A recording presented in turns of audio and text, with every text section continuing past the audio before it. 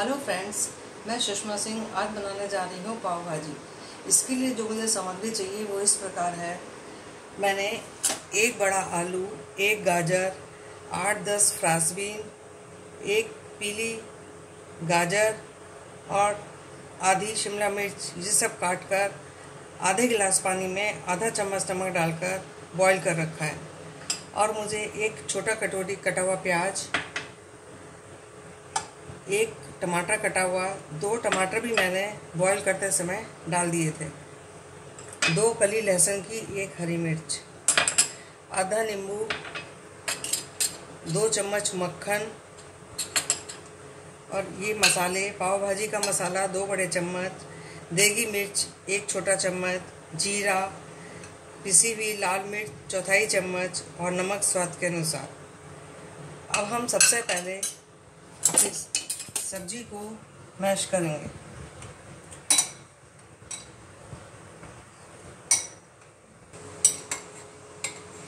ये देखिए, घोटने के बाद सब्ज़ी इस तरह से हो गई है। अब हम इसका मसाला तैयार करते हैं। पैन लिया, इसमें मैं एक चम्मच के करीब तेल डालूँगी। तेल में बटर डालने से बटर एकदम से जलता नहीं है। ये मैंने थोड़ा बटर रोक लिया है।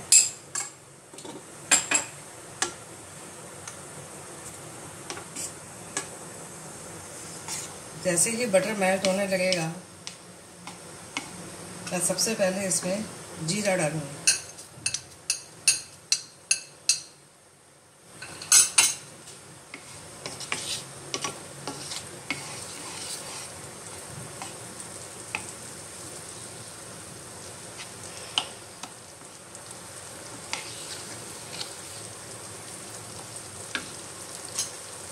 लहसुन और हरी मिर्च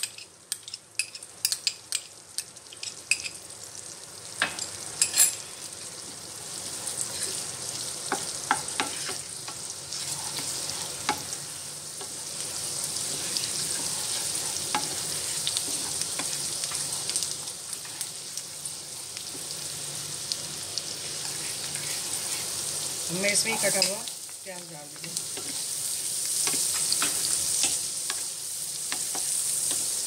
प्याज को मैं हल्का गोल्डन कलर का फ्राई करूँगा।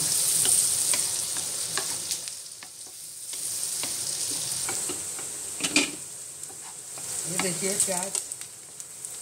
बहुत हल्का ब्राउन हुआ अभी मैं हल्का सा ब्राउन और करूँगी। अब मैं इसमें सबसे पहले देगी मिर्च, लाल मिर्च पाव भाजी का मसाला।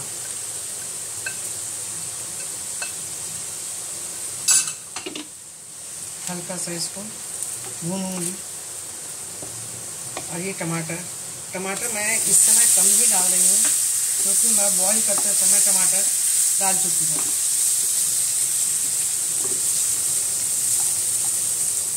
इस मसाले में मैं थोड़ा सा पानी डाल रही हूँ, ताकि मसाला अच्छे से प्याज, टमाटर में मिक्स हो जाए।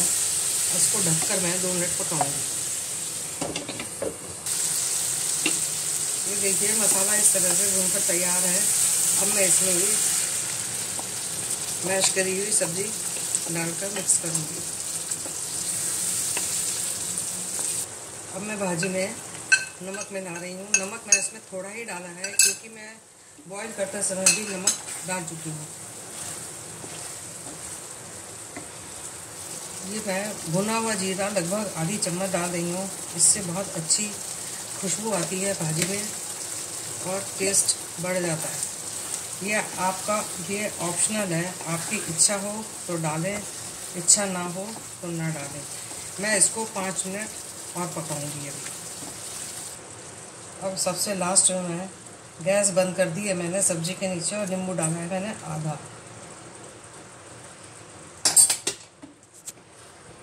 इसको अच्छे से मिक्स कर रही हूँ। अब हम भाजी के साथ के लिए पाव सेकते हैं। एक नॉन स्टिक पैन पर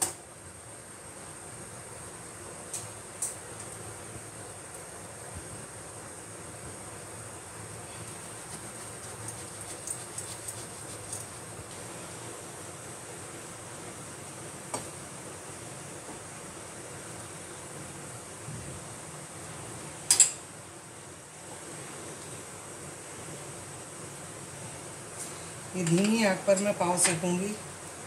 इनको बटर में ही सेकें तो ज़्यादा अच्छा रहेगा।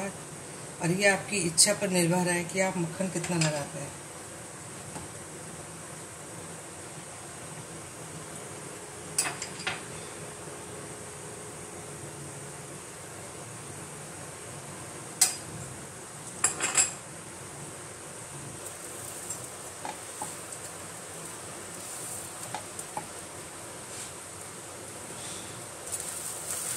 आप मक्खन चाहें तो और लगा सकते हैं। मैंने इतना ही मक्खन लगाया है। ये आपके स्वाद के ऊपर निर्भर करता है।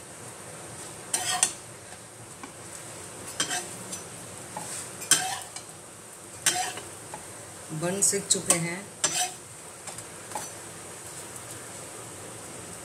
अब हमारी पाव भाजी तैयार है। मैंने भाजी पर एक चम्मच बटर डाला है ऊपर से। और ये देखिए, मूली और प्याज का नींबू का सलाद है। आप इस तरह से पाव भाजी बनाइए, खाइए और खिलाइए। यदि आपको ये मेरी रेसिपी पसंद आई हो तो प्लीज़ प्लीज़ लाइक कीजिए, अपने फ्रेंड्स में शेयर कीजिए। मेरे चैनल के लिए नए हों तो सब्सक्राइब कीजिए। Thank you